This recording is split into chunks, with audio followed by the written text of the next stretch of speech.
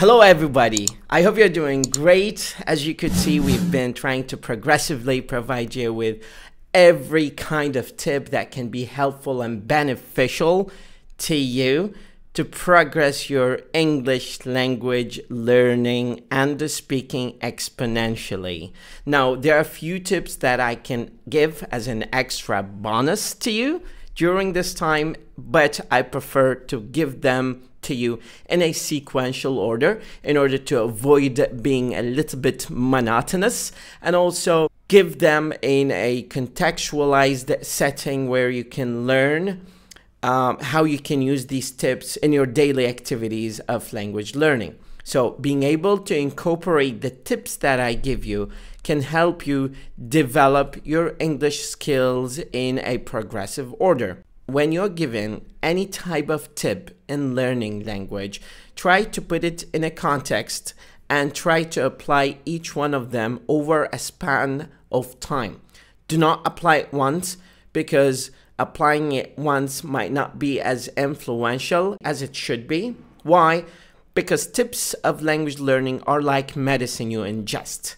You should take it in timely manner so the body can kind of develop a positive reaction to that medicine and absorbs it in the timely manner, as well as giving you a small amount of um, medicine might not be as effective to treat the symptoms that you are suffering from, God forbid. So, these are a few tips that I thought might be helpful to um, give you a sense of understanding of language, its anatomy, and how you can approach it from the corner of your learning curve. The most important tip that I truly recommend you do is to surround yourself in a context of language learning. How can you do that? Put slips of papers in your room if you have a room that is dedicated to you. Um, also, uh, try to get some small mini library in the room where you're studying so you can have a look and access to the books because the body or the human body responds to the context of where it is situated.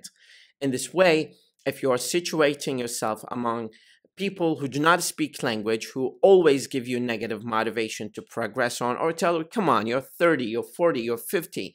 There's no chance of you to master language. And in addition to that, how are you supposed to use it?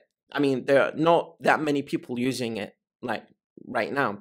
But since you came to the realization that language is the most influential weapon by which you can open a lot of doors to you and also explore the world, understand culture, minimize the amount of uh, ambiguity that you have regarding other cultures. This is something that is really important to you to understand and follow. So, surrounding yourself with a context that supports language is going to be very effective, whether that's on a form of mini library you put in the room that you have, or um, listening to um, songs in English, or uh, watching many documentaries. I always recommend that you watch social oriented movies not kind of movies that have a lot of action because the kind of language that you will find there is a little bit extreme.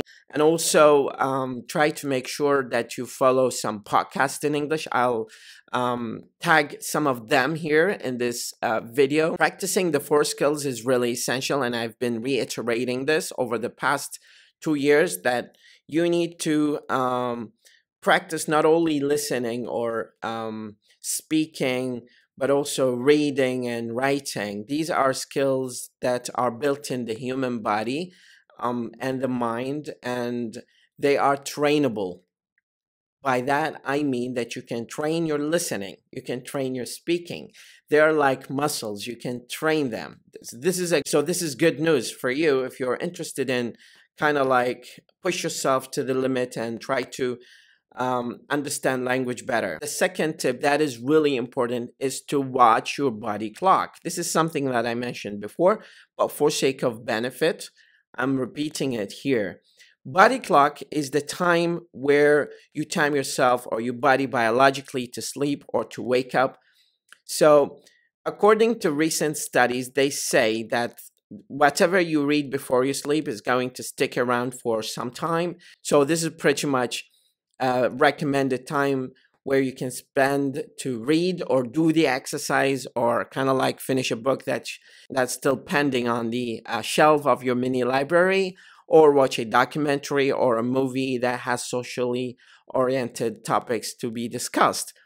These are the tips that I thought of sharing with you. They might be helpful to you to kind of come to a reconceptualization of your learning process and curve and how you can just push it a little bit further. Few inches. Thank you so much. Looking to see you in another video, inshallah. بدرب اللغة Khaled.